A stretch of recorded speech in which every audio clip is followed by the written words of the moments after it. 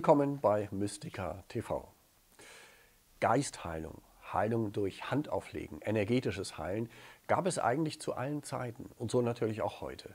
Aber was ist eigentlich Geistheilung? Darüber habe ich heute die Ehre, mit einem der bekanntesten Geistheiler Europas zu sprechen, nämlich mit Horst Krone. Ich grüße Sie. Schön, dass wir miteinander ein bisschen sprechen können, was Heilung durch den Geist eigentlich bedeutet.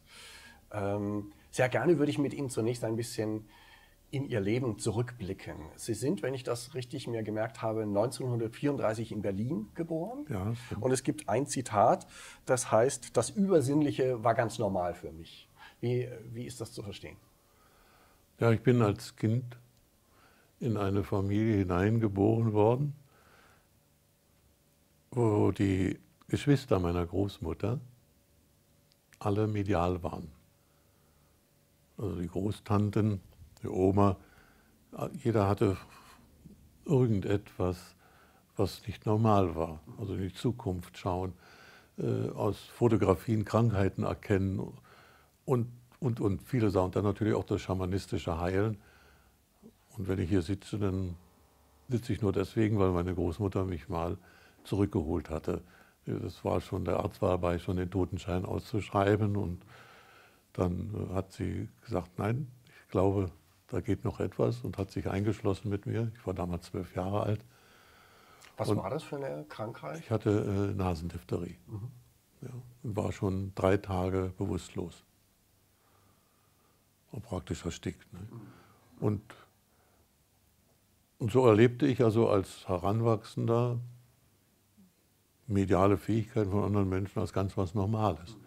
Das verlief aber dann, als ich dann anfing, den Beruf zu erlernen, habe ich daran nicht mehr gedacht und habe viele Jahre oder Jahrzehnte äh, dieses Thema völlig ignoriert. Trotzdem immer so eine gewisse Neugierde, weil ich mal irgendwo einen Artikel gelesen habe, schon da war, aber ich habe nichts praktiziert oder habe mich noch gar nicht darum gekümmert, was das dahinter steckt. Das halt oft so ist, Sie wollten erstmal eigene Wege gehen und na, ich glaube, das war auch wichtig, äh, dass ich erstmal handfesten Beruf erlerne. Oder ich habe ja zwei Berufe hintereinander erlernt.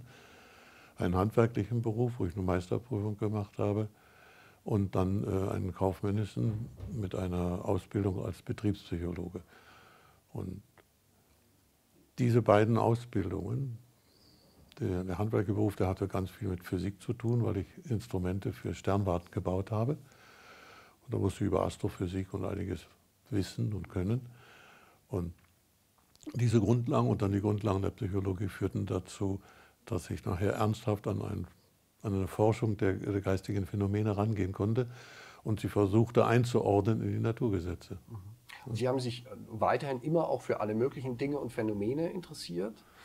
Und irgendwann dann, ich glaube, als Sie 40 waren, haben Sie sich entschlossen, sich dem ganz zu widmen. Ja, ich habe äh, mit 37 habe ich eine ja, Verkaufsleiterstelle, eine gut dotierte Verkaufsleiterstelle aufgegeben und äh, habe den Sinn des Lebens gesucht. Und das hat noch ein paar Jahre gedauert und dann kam ich eben an einem Ort, und wo ich die Begegnungen hatte, die mir den Weg ebneten in die Geisteswissenschaften mhm. hinein. Und das war in Teneriffa? Ja, war auf Teneriffa. Mhm. Ne? Mhm. Aus irgendeinem Grunde hat es mich dorthin verschlagen. Da waren also tiefere Beweggründe mit dabei. Äh, und da habe ich dann auch die Menschen kennengelernt, die mir so ein bisschen den Weg bereiteten, in eine Forschung zu gehen. Das ergab sich dann so. Ich habe dann ein Gästehaus aufgemacht, wo wir anfangs nur mit Naturheilkunde und psychologischer Betreuung äh, Menschen halfen nannte sich Zentrum für Lebenshilfe, das Gästehaus von uns. Und weil äh, auf Teneriffa oder in Spanien überhaupt das geistige Heilen oder diese Außenseitermethoden äh, geduldet wurden. Mhm. Sie wurden also nicht so vom Gesetzgeber verfolgt wie hier in Deutschland. Man konnte sich dort freier bewegen. Das habe ich auch durch Zufall erst erfahren, als ich da unten war. Das war nicht der, nicht der Grund, dass ich nach Teneriffa gegangen bin. Und Sie haben dort äh, Heiler aus ganz verschiedenen Ländern eingeladen? Ja, äh, ich hatte eine kleine Gruppe gebildet. Wir nannten uns eine parapsychologische Forschungsgruppe. Mhm. Wir wollten also die ganzen Phänomene, die Anfang der 70er Jahre war das ja, ne? ja. Die, so kamen die ersten Bücher von Professor Rhein, waren da von, von aus der Parapsychologie. Wir haben diese Versuche nachgestellt und wollten wissen, ob das stimmt, was da in den Büchern steht. Und dann stießen wir eben auf das Phänomen der Geistheilung. Und da haben wir uns entschlossen, Geistheiler einzuladen. Und so kam daraus dann eine Forschung, die über viele Jahre, fast acht Jahre dauerte, wo ich in regelmäßigen Abständen verschiedene Heiler aus verschiedenen Kulturen und Nationalitäten hatte. Und ich hatte immer eine Bedingung gestellt, wir besorgen Patienten, du wohnst bei uns, du kriegst die Patienten. Äh, und die Bedingung ist, dass ich bei jeder Behandlung dabei bin. Und so habe ich also hunderte von Heilungen erlebt oder Behandlungen. Nicht alles wird ja eine Heilung. Äh, aber ich konnte mir dann so langsam ein Bild machen, äh, was so dahinter steckt. Und kam zu dem Schluss, dass diese Heiler weder gottgläubiger oder klüger sind als ich selber, aber sie sind irgendwie dahinter gekommen und haben ein Urvertrauen entwickelt, mit Kräften umzugehen, die wir alle in uns haben. Kamen Sie dann auf Gemeinsamkeiten, also äh, Dinge, die fast alle Heiler gesagt haben, was Heilung eigentlich bedeutet? Ja, also die Heiler, die alle Erfolg hatten, die haben grundsätzlich immer gesagt, es heilt durch mich. Mhm. Es hat aber keiner dabei, gesagt, ich bin der Heiler, sondern höchstens, ich bin der Heiler mit Gottes Gnaden, so ungefähr. Aber die meisten haben gesagt, die haben, äh, fließt eine Energie durch sie oder eine göttliche Energie oder ein Arzt aus dem Jenseits steht mir zur Hilfe oder manche haben auch mit Engeln gesprochen.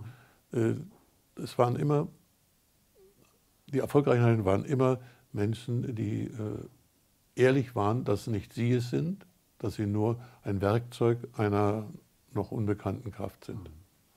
Dieses Bewusstsein gehört wahrscheinlich dazu, ja, zu wissen, auch in äh, gewisser Demut zu wissen, es gibt ja Kräfte und Energien.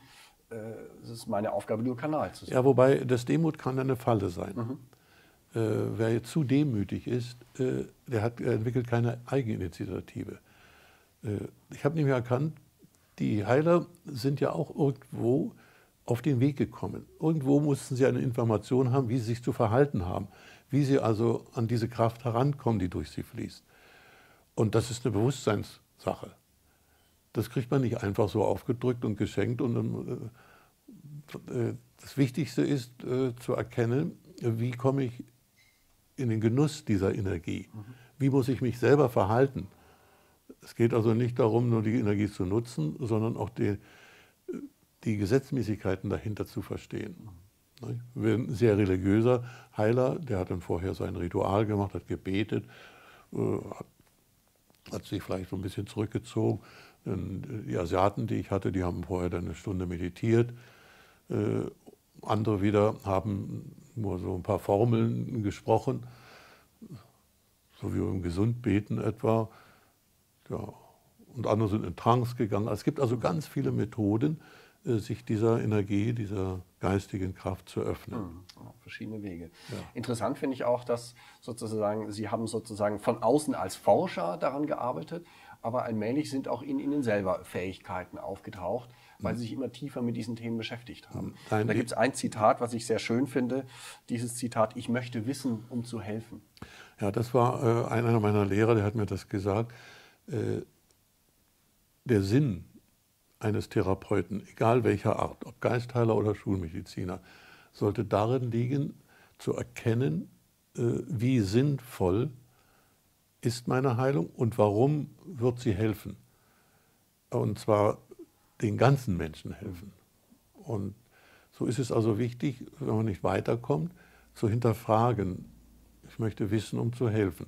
Das ist so eine Antriebsformel, äh, die dazu führen kann, dass man sagt, hier muss ich noch Bücher mir kaufen oder ich muss da noch ein Seminar benutzen, besuchen, ich muss dies noch lernen, mhm. äh, damit ich weiß, äh, warum ist der Mensch krank. Die Formel kann auch benutzt werden, äh, wenn die Öffnung nach oben äh, zur geistigen Welt ist, dass man seinen Helfern die Bitte vorträgt, ich möchte wissen, um helfen zu können. Denn äh, wahre Heilung ist immer eine Bewusstseinsveränderung beim Patienten. Der Kranke muss wissen, warum er gelitten hat, sonst wird er wieder leiden. Also ohne, ohne eine Veränderung äh, der Persönlichkeit äh, in Bezug zur Krankheitsverursachung gibt es nicht. Es muss immer im Patienten etwas geschehen. Denn im Endeffekt ist der Patient ja immer der Empfänger der Heilenergie und muss sie verwerten. Wir können nicht für einen anderen Menschen leben und können auch nicht für einen anderen Menschen Heilenergie produzieren und sagen, du hast sie. Er muss sie annehmen. Es gibt ja genügend Patienten, die keine Heilung annehmen. Die wollen es gar nicht. Einige sind stolz und sagen, ich mache es alleine. Und andere sagen, ich glaube nicht daran, das, das funktioniert sowieso nicht, mir kann keiner helfen. Die sperren sich dagegen. Ne?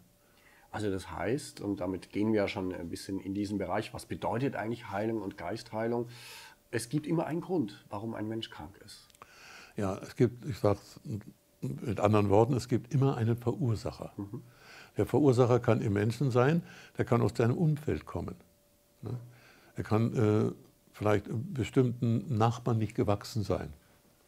Oder er ist in der Familie so erniedrigt, dass er also dem Milieu nicht gewachsen ist und leidet darunter. Es kann aber auch äh, die Krankheit aus seiner Persönlichkeit entstehen, durch äh, falsche Glaubenssätze, durch, äh, durch Sucht zum Beispiel. Ne? Und kann man diese Gründe immer finden? Ja, ich äh, möchte sagen, äh, das ist äh, die heilige Aufgabe für jeden Therapeuten. Hm. Und wer, wer, sich diese Mühe nicht macht, der, der ist ein schlechter Therapeut.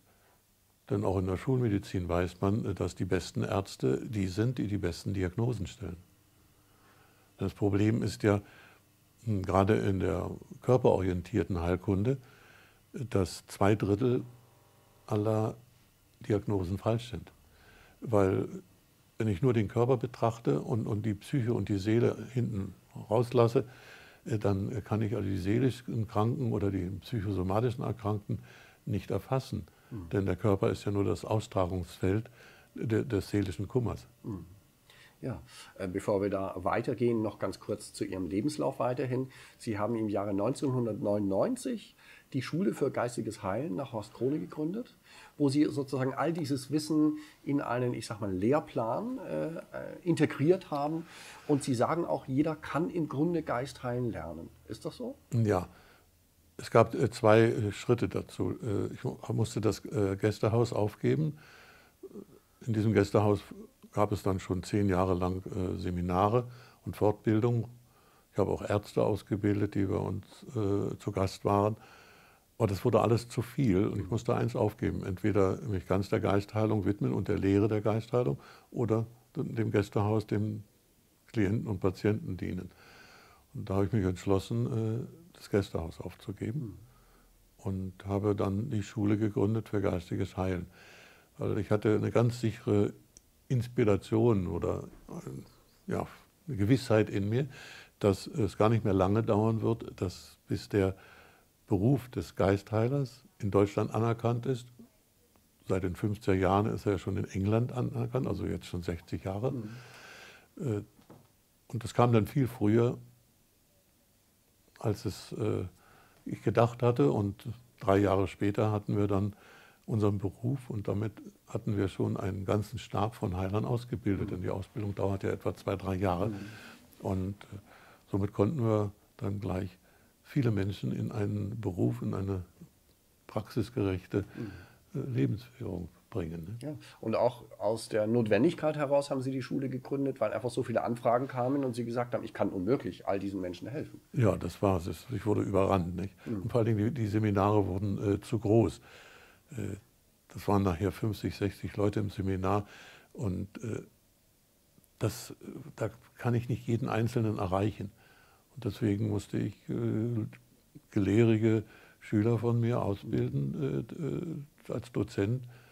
Denn ich hatte ja mit den vielen Heilern aus der ganzen Welt ein Programm zusammengestellt, das nicht nur erlernbar ist, sondern auch effektiv wirksam ist, und zwar auf allen Ebenen, Körper, Seele, Geist.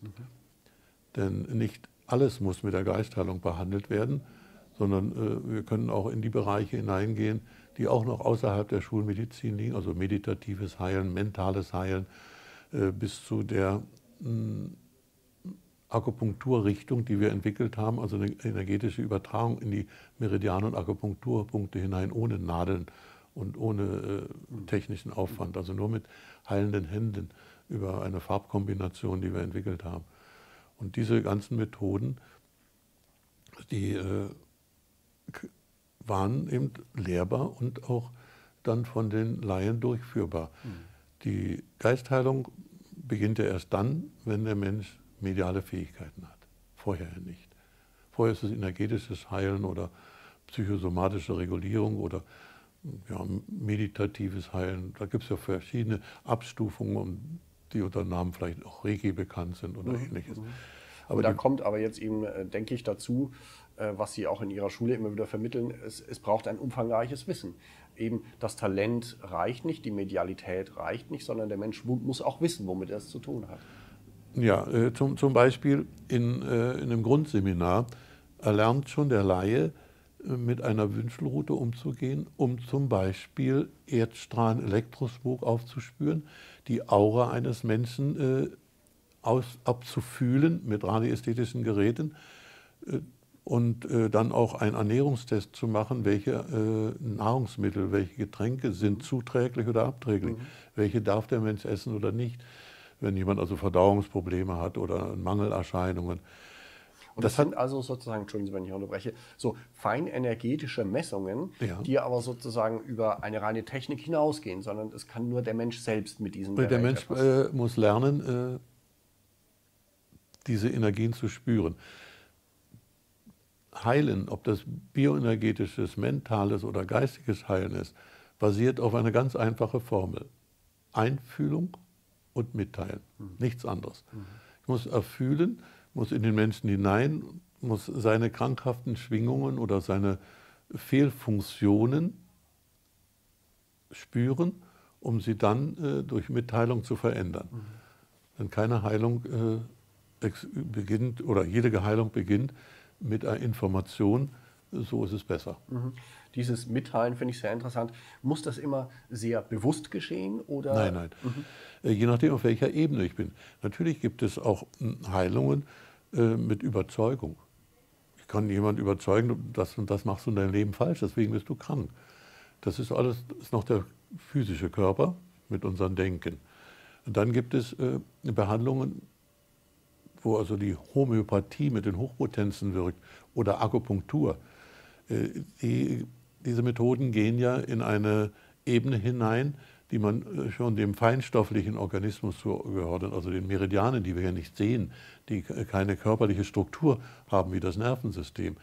Äh, dann können wir auch vielleicht noch die Tiefenpsychologie da hinzunehmen, die ja nur am Bewusstsein des Menschen wirkt, um dort mehr Ordnung reinzubringen, mehr Harmonie. Und darüber hinaus gibt es dann auch noch die Heilung, die, die Seele und das geistige Potenzial, also nicht den Intellekt sondern äh, die Kräfte abdeckt, die den Körper erhalten. Wir gehen auch davon von drei äh, grundverschiedenen Heilsystemen aus. Und das ist auch die Grundlage äh, der ganzen Schule. Äh, wir haben äh, für die physische Ebene haben wir das Immunsystem. Mhm. Also diese drei Bereiche, die Sie schon erwähnten, Körper, Seele und Geist sind ja in, in früheren spirituellen Traditionen auch immer schon wichtig gewesen. Heutzutage sprechen viele Menschen nur noch von Körper und Geist, aber es gibt eben auch die Seele, die etwas Verbindendes zu sein scheint. Ja, der Geist äh, kann nicht direkt den Körper erreichen. Er muss einen Dolmetscher benutzen und das ist die Seele. Und äh, jede, jedes dieser drei äh, Systeme hat ein eigenes Heilsystem. Mhm, genau. Mhm. Der Körper hat sein Immunsystem, Körperabwehr, ein hocheffektives System, das Immunsystem ist etwa Millionenmal klüger, als wir denken. Denn äh, wir können als Tagesbewusstsein äh, vielleicht tausend Menschen beurteilen. Genauso, der heißt so und so, der hat den Beruf und der hat diesen Charakter und dann hört es auf. Aber ein, ein intaktes Immunsystem muss ungefähr fünf bis sechs Millionen Feindbilder äh, auseinanderhalten können, zuträglich, können wir gebrauchen oder nicht. Ne? Und äh, das ist also schon äh, eine Leistung, äh, diese innewohnende Intelligenz. Und, aber wenn wir zu den Heilsystemen zurückkommen, neben dem Immunsystem gibt es auch noch die Zellregeneration. Also ein Wissen, wann muss eine Zelle erneuert werden. Dazu gehören natürlich auch das äh, Teilen von Zellen, das Mitteilen und äh, das äh, Heranwachsen von neuen Zellen bei Verletzungen oder wenn ein Organ mal schwer geschädigt ist, dass wieder sich eine neue Masse bildet. Und da hilft dann die dritte Ebene. Die dritte Ebene ist die, die sich grundsätzlich aller äh, physischen Behandlungsmethoden entzieht. Und das ist, äh, wie es Rudolf Steiner sagte, sind es die Körperbildekräfte. Ich nenne es immer das Bewusstsein, wie der Körper sein sollte. Und dieses Bewusstsein ist nicht im DNS gespeichert, mhm. sondern auch der DNS unterliegt diesem Bewusstsein.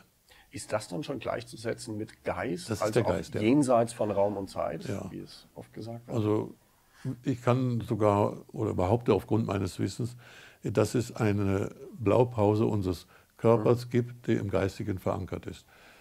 Denn sonst würde die Heilung nicht funktionieren mit Helfern aus der geistigen Welt, wenn die Korrekturen durchführen und wir den vorherigen, vor der Krankheit, äh, den Zustand wieder herbringen, weil sie die, die Pause haben, also die, den Plan, wie es sein sollte. Ne? Ja, interessant. Und das klingt ja äh, manchmal ein bisschen esoterisch, aber man darf nicht vergessen, dass sozusagen die Wissenschaften sich immer mehr diesen Themen annähern. Und wir haben im Vorgespräch über Burkhard Heim gesprochen, der mit seinem zwölfdimensionalen Weltbild sogar mathematisch bewiesen hat, dass es so etwas wie höhere Ebenen gibt. Ja, natürlich. Äh, die neuesten Erkenntnisse der Physik die, oder die führenden Leute in diesem Bereich, die sagen ja, dass kein Atom, kein Lichtstrahl äh, hier äh, sich bewegen würde, wenn es nicht eine geistige Komponente gibt. Denn wir haben irgendwo einen Gesetzgeber. Und alles, was wir erleben, läuft nach irgendwelchen universellen Gesetzen ab. Und äh, diese Gesetze müssen innegehalten werden. Und da jedes Ding dieser Welt, was sich bewegt, Energie benötigt, braucht die Energie eine Information in gesetzmäßigen Abläufen. Das sind nicht nur die physikalischen Gesetze. Es gibt Gesetze, die noch eins drüber liegen. Mhm. Und diese, diese Art von Information ist, glaube ich, etwas, was auch in der Physik erst allmählich verstanden wird. Dass Information wirklich auch im Grunde eine nicht physikalische Größe ist, weil es ja nicht messbar ist, aber eine lebensbestimmende Größe. Kann man das so sagen? Ja, das Leben äh, nutzt die Materie. Mhm. Also die, wir sind ja, wir sind ja nicht der Körper. Wir haben einen Körper. Leben ist Geist. Mhm. Und äh, die Talente, die äh, das hohe Selbst, also die Geist, der geistige Anteil eines Menschen zeigt, ist, dass er in der Lage ist, in einem menschlichen Körper eine Ordnung aufrechtzuerhalten über lange Zeiträume und auch noch in diesem Körper äh, Bewusstseinserweiterung durch Erkenntnisse, wie die Natur, äh, die physikalische Natur und die chemischen Strukturen äh, sich bewegen. Wir, oder jeder einzelne Mensch hat ja eine unvorstellbar hohe Intelligenz von der geistigen Ebene her, den Körper zu steuern. Also rein potenziell, auch wenn es uns nicht ja, bewusst ist. Denn äh, es muss ja alles nach einer Ordnung ablaufen, die liegt da nicht im, im Gedankengut. Das Denken ist nur der kleinste Teil dabei. Äh, aber um die zellularen Strukturen aufrechtzuerhalten, bedenken Sie nur, äh, wir haben über 60 Billionen Zellen und die haben nur eine begrenzte Lebensdauer. Im Durchschnitt äh, muss im Körper, müssen im Körper äh, sechs bis acht Millionen Zellen pro Sekunde erneuert werden. Mhm. Denn in sieben Jahren ist der ganze Körper äh, erneuert. Mhm. Und äh, dann eine weitere Ordnung dazu, in jeder Zelle des Körpers durchschnittlich laufen etwa 20.000 chemische Prozesse pro Sekunde ab, also molekulare Prozesse, Verbindung, der Stoffwechsel in den mhm. Zellen. Und das mal äh, 60 Billionen. Das sind Größenordnungen, die wir äh, mit dem Denken nicht mehr erreichen können, schon gar nicht steuernd. Hm. Und das ist auch da, physikalisch gar nicht erklärbar. Dahinter, das ist äh, die, das Wunder des Lebens, also dass uns ein Wissen und ein Können zur Verfügung steht, diesen Körper, dieses Wunderwerk aufrechtzuerhalten. Mhm. Deswegen wird der Körper und auch das Bewusstsein eines Menschen heute auch von führenden Wissenschaftlern als göttlich angesehen. Mhm. Denn das, was in uns an Intelligenz, als Wissen, Bewusstsein wirkt, äh, das können wir gar nicht denken, denkend erfassen. Ne? Also im Prinzip haben wir alle das Potenzial, gesund zu sein. Natürlich, wir sind ja auch weitgehend gesund. wenn man mal die ganz schwer Kranken, äh, die mit angeborenen Kranken oder schwer Verletzten mal nicht betrachten, sondern den Durchschnittsmenschen, äh, der ist ja weite Teile seines äh, Lebens ist er gesund. Mhm. Und es ist auch so, wenn jemand schwer krank ist, also wirklich so medizinisch schon ein Fall äh, von, naja, lange geht es nicht mehr, ist dann ist höchstens ein Prozent seiner Grundstruktur gestört. Mhm. Interessant. 90 Prozent läuft dann noch weiter ab. Mhm. Ah ja, wunderbar. Ja, es gibt also so etwas wie kosmische Ordnung. Was heißt also krank sein? Heißt es, dass wir dann aus dieser Ordnung herausgefallen sind? Darüber sprechen wir im zweiten Teil mit Horst Krone. Ich danke Ihnen.